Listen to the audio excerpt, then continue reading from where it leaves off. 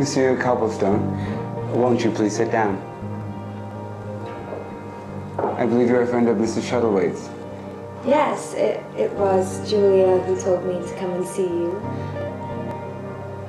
Although, I have met you before, haven't I?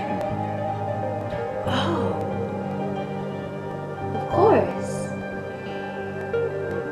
I didn't know. Oh, there's nothing for you to know. I was there at Mrs. Shuttlethwaite's insistence. That makes it more perplexing. Although I don't want to waste your time.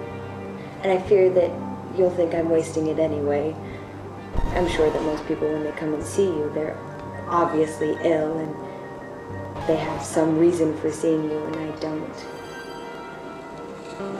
It came out of desperation. And if you think I should leave, I won't be offended. Most patients begin, Miss Coplestone, by telling me what they think is wrong with them. They're quite sure they've had a, a, a mental breakdown. And they're sure that someone else is to blame.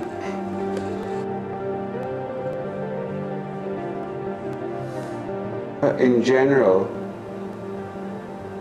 we begin with the patient telling me what they think is wrong with them, exactly what they think is wrong with them, and the nature of how that came to be. And then, the prologue to my treatment is to let them know that they're mistaken. What they think is wrong with them is actually not what's wrong with them at all. So with you, let's begin with the idea of normality. Okay. You said that there were two things. Yeah. Can you name one of them?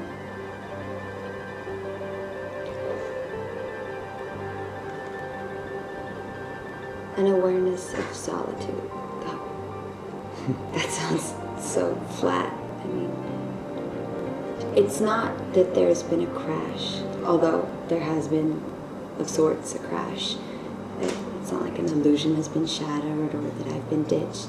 Although people get ditched all the time and they figure it out and work through it. Mm-hmm. But it's that I've realized that I'm completely alone. And it's not because a relationship ended or, or one that existed didn't actually exist at all. It's more that I know now that in the world where you're just all alone. And it's my relationship with everybody.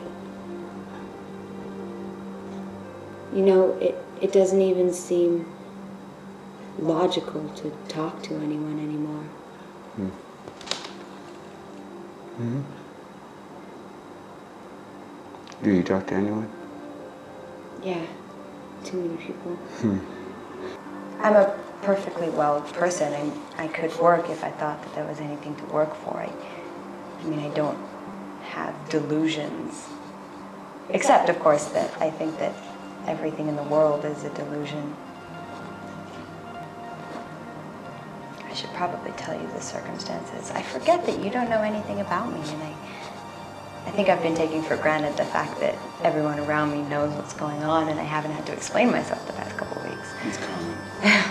Well, you can make me better.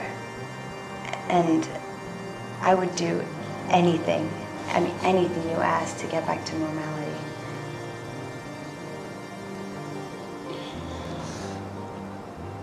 Well,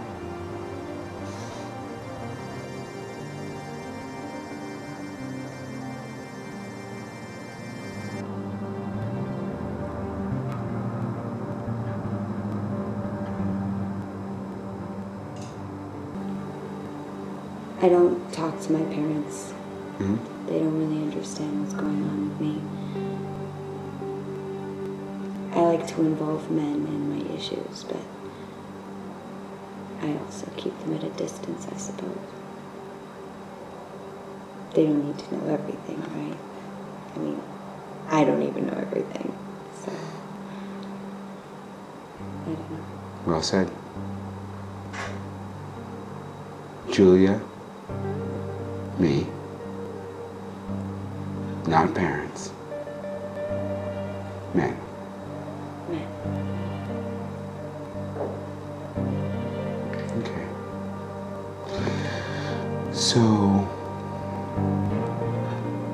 when you talk to Julia, without telling me anything that you share with Julia in confidence, Right. what's the nature of the feeling between the two of you? Do you feel you're wasting her time? Do you feel your friendship is growing deeper because of these sharing conversations? I mean, I don't think I'm wasting, wasting her time at all. Mm-hmm. Because I don't think she understands me. You know, if she understood me, then she would know I was wasting her time because what's going on with me is crazy. It's not normal. It's it's not something other people seem to be dealing with. But because she doesn't understand, it's you know, foul, right? She can just listen and, and nod and, and pour more champagne and, hmm. and we can have hmm. more elaborate parties and stupid library book club sessions and it'll be fine. But it doesn't make our relationship stronger or weaker. It's it's not that at all. It's it's more a sense of just offloading on someone and, having every now and then. So, in Julia's failure to understand what you're talking about, what you mean,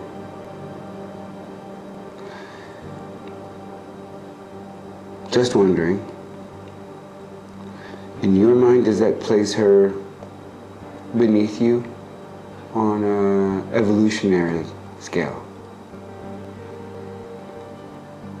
I think maybe she's just lived less. You know? Hmm? Like maybe maybe I'm an old soul and she's a younger soul or something. Because she's smart. It's just in a different way. So, do you feel like any of these conclusions you've recently come to about aloneness and singular solitude? Is there a spirituality to these findings? Is there something meta about them for you? No.